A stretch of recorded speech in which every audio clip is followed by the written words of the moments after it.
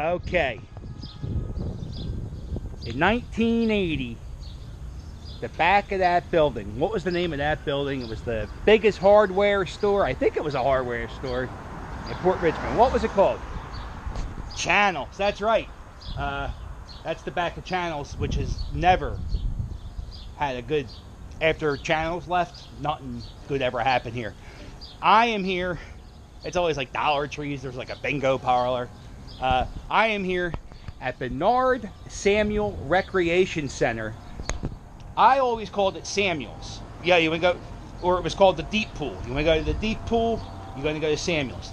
I, I got permission to do this. I'm going to go inside. I'm going to show you what the rec looks like now. Out of all the playgrounds I've done, this is the only one that has an open activity center. But there it is, the, the old gym. Oh, look inside. Look at this. I don't want to get anybody in trouble.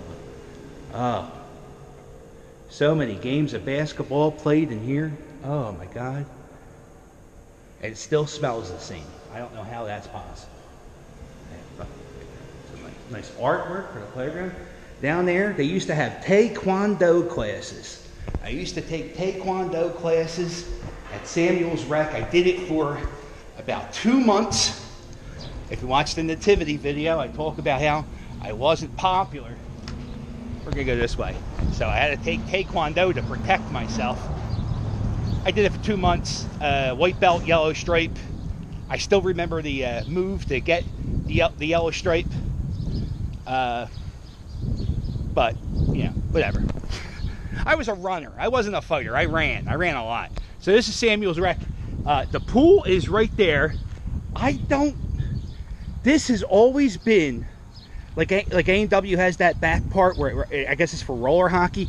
But what is this? This is for maybe it was for a garden at one time. Uh, it does open over there. Maybe uh, pitchers would warm up. And I don't know what this would be for. Uh, and then here's the pool. You know how dedicated I am to doing these stupid videos? I'm to climb into a trash can so you guys can see the pool. Um, I remember playing t-ball here as a kid. I definitely played baseball on that field. I don't remember playing soccer. It seems kind of small for a soccer field. Um, I think it's for like little kids. Like Pal plays soccer here now. Uh, I don't like this. Who is? All right, all right. I need a can of red paint and a can of white paint. We can't have that. We got to fix that. And then, then these faces peeled off. Vince Lefty Gould. Thomas Bonk, the original owner of Bonk's Bar. And Ed Markowitz. I guess these are baseball players who played in the big leagues from Port Richmond. Uh, hmm if he's an athletic, he should be in the middle because that's Philadelphia. I don't think the Red Sox guy, or maybe he's the most popular one. I don't know. And then who are these people? It just, you know what? I went, I'm going to come back. I'm going to put my face on there. My stupid beard, dumb hat. All right. And there, there's the baseball field. When I played for the Tigers, this was my home field. And uh, I lived on Ann Street, so I hated that because I had to walk all the way down here. Uh, there's Toys R Us all the way back there. There's that vacant lot that the Port Richmond Tigers had their carnival at a few years ago. Uh, I remember uh, we when we were kids, we would play baseball, and the worst thing, it always happened like once or twice a game, and physically, I don't know how it's possible, but some jerk would hit a foul ball and somehow it will wind up on top of there. And I was a good fence climber, so I always got it, but I was afraid of heights. Stupid. And I don't know how that happened. You see that part where there's no fence? Oh, that's good with the sun. That's a good idea. Uh, they never uh, had that fence there. If that fence was there, I think it would be a big difference. Oh, this was our bench. We would sit here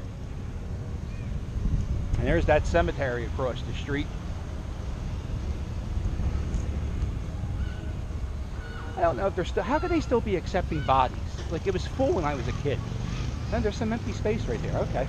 And then those houses, uh, those little houses in that corner there, uh, I, I think this is Tioga. Those houses on that corner there, those little tiny houses, uh, they were built in the 80s. What is, oh my God. That was built in the 80s. And then, uh, see where we at. So there is the basketball court, which never had, uh, I, I guess it used to have rims, but it hasn't had rims on all four nets in a long time. I'll tell you a memory when we get in there.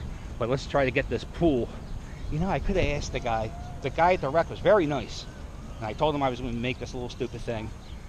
And he was like, oh, yeah, that's cool. And I, I should have said, hey, can you unlock the pool for me? But no, I'm going to climb a trash can. Okay, here we go. Right. Oh, how do you do this with the goat? All right, and there is the pool. Eh, the best thing about Samuels is it was a deep pool. And look, I'm really on top of a trash can. You don't see me, but oh. And you would leave your shoes back there where those benches are, wrapped up in a towel, and pray to God that the shoe thief didn't take them. All right. and like I said in the Hawks video, do you know anybody who had their shoes stolen at a playground? Because I don't. All right. So there's the basketball court.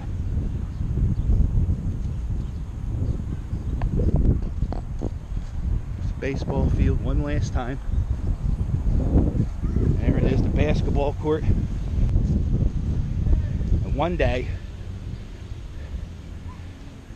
there was a, a festival going on at that new strip mall where the arcade opened up down the street there. It's now like a homeware place. I met Seth Joyner and Jay Bowden Jones from Eagle 106.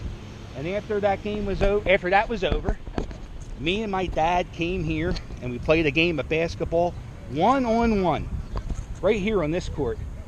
And and my dad got a lead up to 10 nothing. And somehow, miraculously, I came back and won. And every time I see this field, every time I drive past this playground, I always think about how sweet my dad is. But not really that sweet, because if you think about it, you know, what if he missed, messed up like one of the shots he's missed and they went in? I would have lost and I would have been scarred permanently. There you go. But no, he, was, he would bank him off the board. It was a good time. But I, I still remember that, Dad, and, and, and it always makes me smile. And, and there's the playground. Oh, it's a oh, you know what? Old school. Look at that. I see. It's it's a 75 degree day. Uh, it's cool to the touch. Not maybe maybe they improved playground technology. Maybe they put some of that Teflon on there. But in the 80s, that would have been 200 degrees.